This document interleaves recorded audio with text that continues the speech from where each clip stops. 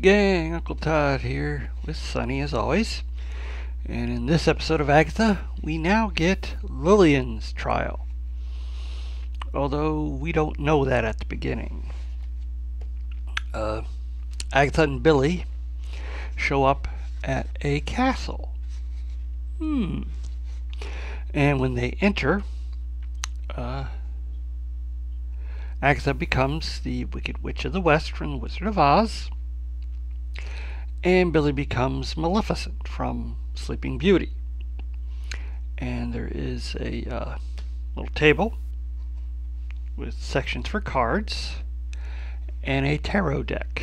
So, Billy tries to read the cards correctly, and there are swords on the ceiling, and they start dropping one by one as he plays each card. Then uh, we cut to Jen and Lillian, who are in a tunnel. Uh, they've apparently fallen there from the mire. And uh, it's here we learn that Lillian doesn't view her life in a linear fashion. For her, time is very jumbled. She pops in and out of different time frames for herself. So sometimes she knows what's going on and sometimes she doesn't. And this explains all the weird things she's been saying to everyone throughout the rest of the series as she is giving them glimpses of what she's seen in the future. Such as uh, telling Alice not to try to save Agatha, which then refers back to when Alice tried to save Agatha from her mother's ghost and got and got her life force absorbed by Agatha. So this is what's going to be happening throughout all this. Now, anyone who says, "Oh, it's like a Tarantino thing where uh, we we tell the story out of order," no.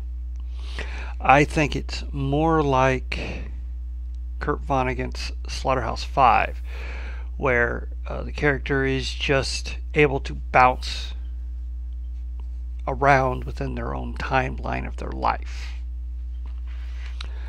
Uh, of course, that's how I, I look at it. Uh, and uh, then they appear in the castle with Agatha and Billy. Uh, Lillian is Gwenda the Good Witch. Glinda Glinda the Good Witch from Wizard of Oz. And Jen appears to be the old hag disguise that the evil queen from Snow White uh, affected when she gave her the poisoned apple. And uh, Lillian believes that uh, she now has to be the one to uh, play the cards, and she's playing them for Billy. But as she reads and lays the cards down, the knives fall.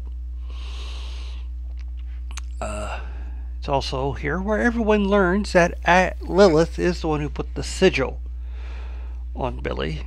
And when asked why, she uh, had seen what was in the future and put the sigil on him so that he would have time to adjust to what happened what is what would be happening to him.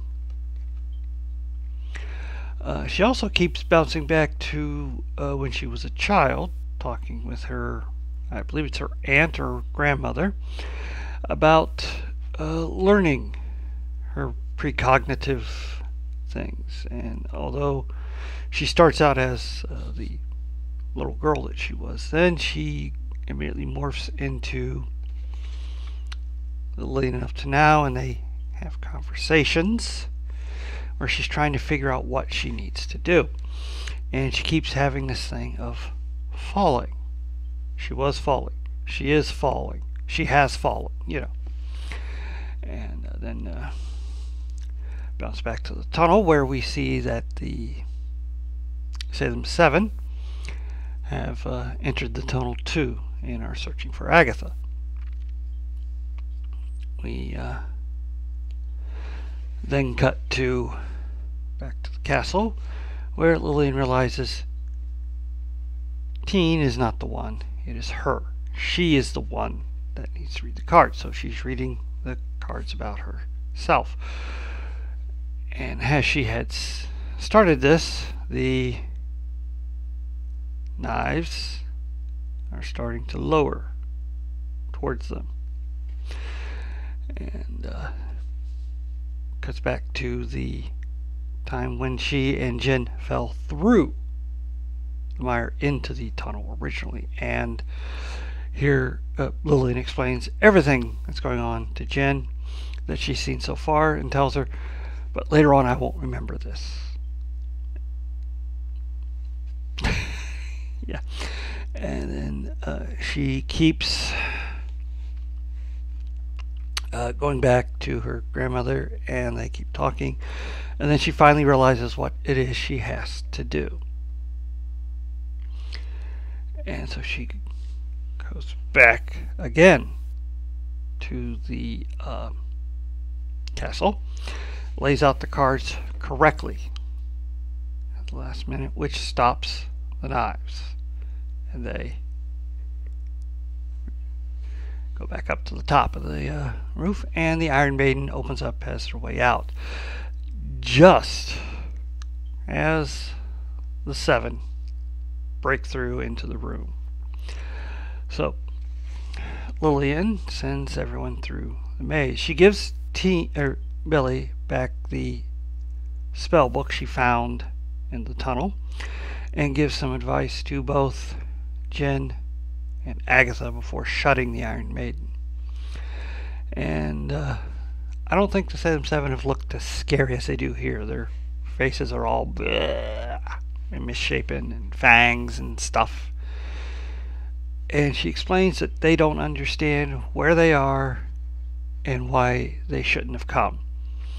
At which point, the one card, the Tower card, which was reversed, she rights, and gravity immediately reverses, and everybody falls up to the ceiling and gets impaled. Now, Lillian had held on to the table, but eventually she lets go and accepts her fate.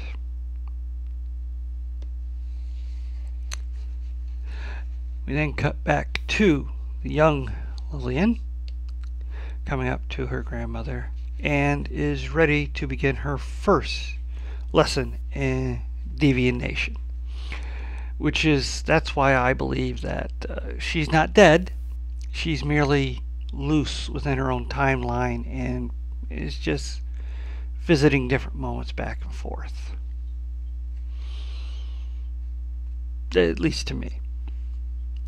Uh, really good episode. Uh, the um, the out of sequence uh, style of this one really interesting. Keeps you uh, invested in trying to find out what's going on and what's happening. Very clever.